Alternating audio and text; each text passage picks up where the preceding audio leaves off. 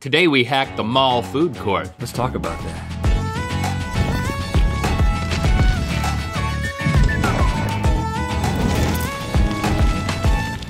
Good mythical morning. We're going on tour to bring our comedy and music to your town with shows in September and November all over the Southeast, Southwest, and a few other spots. Get your tickets now at rhettandlinklive.com before they're gone. Yes. Now, there are roughly 47,000 shopping malls throughout America.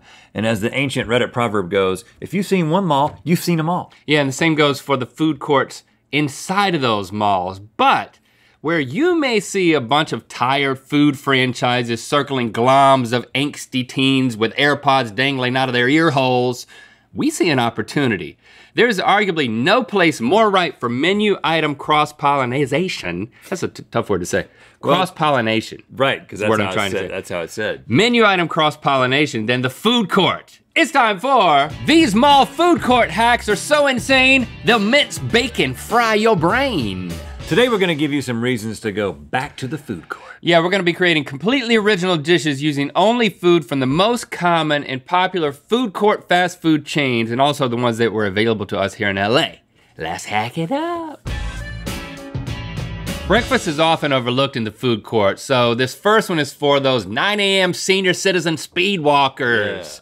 Now, this is our version of the All American Slam breakfast, the Mall American Slam. Oh, I get it. Rhett, you're gonna do the honors while I walk you through it, okay? Okay. Um, we're gonna wanna make an omelet with some bacon and some hash browns on the side and There some. OJ to wash it down. Now, uh, first you're gonna wanna go over to the Panda Express and get yourself some fried rice. Because this is the only place you can get eggs in the food court. I know Right. I have once asked the people at the Panda Express to just make me an egg, and I was asked to leave the mall. I was escorted out by security, so you gotta do it this way. Which is, which you need to take those chopsticks and you need to meticulously pick out all of the scrambled egg bits. Easy. Go for it. Take your time. We got all the time in the world. There's one piece. If you get a little bit of rice, that's I'm gonna fine. shake the rice There's off. two pieces. That's gonna take a while. Josh already did this. We do wanna save this rice. We're gonna be dumping a lot of things into this giant bucket. Now this is not any normal bucket, or at least uh, this emulates something that's not a normal bucket. This is from Hot Dog on a Stick. Now, they use this thing to make their lemonade. We know about this because our very own Matt Carney used to work at Hot Dog on a Stick, and he told us that if you go to any hot dog on a stick and just say, I know Matt Carney, uh, you're gonna have your way with hot dog on a stick. And so we went to one and we got one. So, uh, Link, why don't you throw all And the basically, what they would do, they would just put lemons in there. Yeah, they made their lemonade that way, but we're gonna make something later. Yeah. Uh, just to just put it in there. But in the meantime, I'm just gonna stamp this down to try to create some kind of. You want to create the the egg part of the omelet that can then be folded over. And if you're going to push that hard, I got to push up on the desk so you don't break it. Good gracious, man. Okay, okay. All right, hey, that's a good thing. Now let's see. Let's see what you got. As you can see, it's turning into uh, a the flat same omelet. thing it was. Okay, so then you want to go go over to Sbarro, Yeah, you are. And get yourself a slice of sausage and pepperoni pizza. And in our omelet, we're gonna want cheese and sausage. So you just pull pull those off. Put it in the no, don't put it on the ground. Gosh, it's gotta stay sanitary. That was a test, Link. You passed. I'm just gonna take.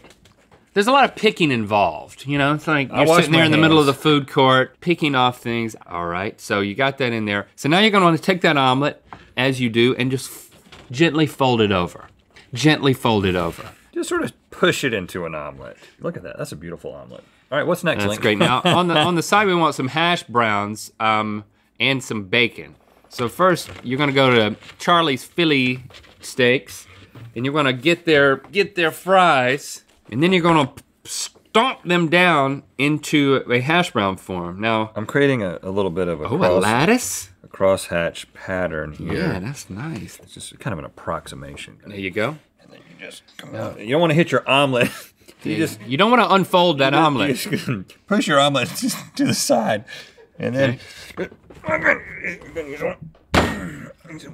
Oh, that's actually kind of working. Yeah, it is. Yeah, it is. Of course, we knew it would work because. Yeah, we taught to Carney.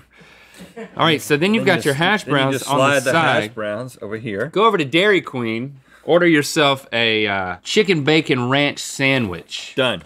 And then take off the bacon as your side of guess what? Bacon. Oh, there's, first of all, not a lot of bacon on this.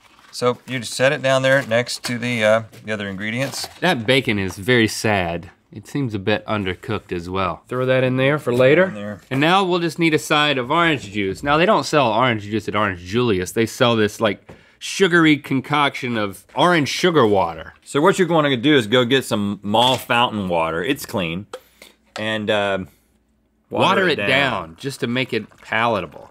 And then you want to take one of your chopsticks and stir that up. Look at that. I'm on board. That's a good idea.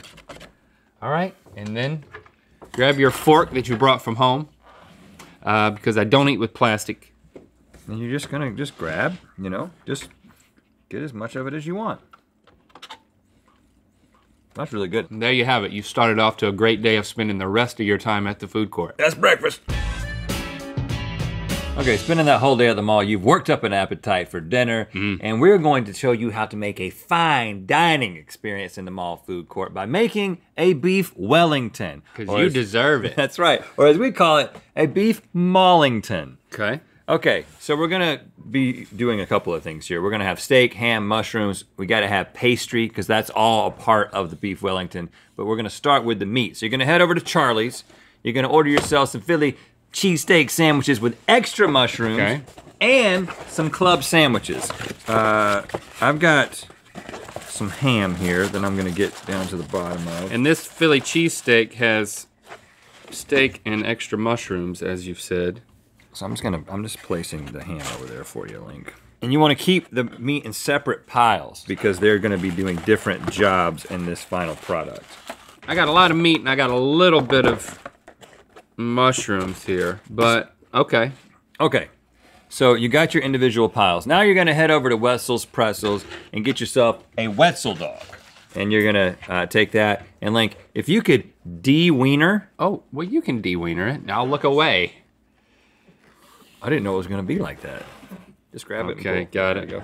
So I've got what they call a mess over here, but I think I've succeeded at making a, a meat pile. So all of this sub topping goes in the bucket. Okay, now you're gonna head to Cinnabon. Uh, you're gonna need to order four cinnamon rolls. And while you're at it, go ahead and order yourself a side of icing because you're gonna need that later for some gluing. Now, you're gonna wanna That's a- unroll. that is a dream. You're gonna be tempted just to eat them, but Don't. don't lose sight of the Holy Grail. Here, okay, use- you can use this tray. I need a I need some saran wrap. Oh, here you go. Use this tray. Yeah. That's where that tray comes in. Now, you're gonna take these and like, you're gonna unroll all four of those side by side. You know what? I can help you because this is this is a job for Whoops. buddies. So they put, all right, so they put an outer layer that you don't need. Throw that in the bucket, and then it exposes this this snail roll. Oh yeah, look at that. You just throw that out. Then when it gets to the end, that part right there, Good. Yeah, you want to take that middle part and just eat it. Mm-hmm. Then throw the rest in the bucket. Okay. So now you've got a bed, and you know what? They actually, even though this is pretty good, they actually made one that's even more rollable. Right oh, here. Oh wow! You mean we could have just grabbed that this entire time? Yep. Okay, so now what do I do with all the meats? So where's your mushrooms? There's the mushroom pile. They went really light on the mushrooms. Yeah. so throw some mushrooms in there. Like just in here? Yeah. And now take take the ham and the ham just creates a blanket across the whole thing. That's like a, a- that's a full layer there. Oh yeah. Now you're gonna take all that steakum. Now just keep in mind that you're sitting in the middle of the food court doing this and everybody's watching. It's like people gathering around Oh, yeah. someone playing an 80s arcade game. Now you're gonna right take the wiener and just rest your wiener down into your meat. okay? Okay. Okay, and now, Link, uh, I'm gonna let you do the honors. So you're gonna take this and you're gonna roll it into a beautiful final product. Okay, so Oh, like that. And then and as you're doing it, You gotta release it you gotta from release it wrap. from the wrap a little bit. Oh yeah. Yeah, we got this extra icing here, Link. Right when you get to the end, I'm gonna create a little bit of a glue layer. Oh, you are? You gonna glue it up? Right here, you just use your, This is when you have to whisper. We're like, I don't You've know. we're already been using your instinctively fingers, huh? whispering. There you go. yeah, just, just, That's very appetizing. just get it in there. And I'm gonna give it a nice, loving squeeze. Now, um, they didn't really have faith in us, so we have another one of these to uh, I mean, to swap out. But I gotta say, you want to compare? it's pretty good. So here's a, here's one that they made beforehand. I think ours looks better. Look at that. okay, I'm gonna, I'm, I'm gonna create a cross section here. All right, I'm gonna, I'm gonna cut the, the hero one we call it. Oh yeah. And then everyone's gathered around the food court, and then you show them the goods. Um, it's, You show them the goods. it's grabbing onto the bottom. You just show them the goods. Whoa! Yeah, slice it up. Look at that. Okay, here See, we go. there's going to be a line of people who've been watching, and now you just you slice it up and dole it out. This is kind of hard for this to kind of remain together. Okay, just throw Uh, it throw it on a plate. There we go. And do you you pick? I mean, you pick it up, and eat it like a sandwich? Nope. No, this is fancy town. Well, but I am, but we're still at the mall, so I'm gonna eat it like this. Eat your heart out, Gordon Ramsay. Fancy. Mm. All right, you've had breakfast, you've had dinner, and now you want to leave the mall, right? No, you want to stay at the mall food court and make dessert. And Yeah. how about some cake pops? So we're gonna make Paul Blart Mall Pops. Woo! All right, so you go to Mrs. Fields, you get yourself some chocolate chip cookies, batter those things up. Bam, bam, bam. Throw them, throw 'em down on there. Get some icing from Cinnabon. And When then they start coming through, that you know you're ready. Uh, you're gonna take that and make a cake pop dough using that in the Cinnabon icing. That looks good.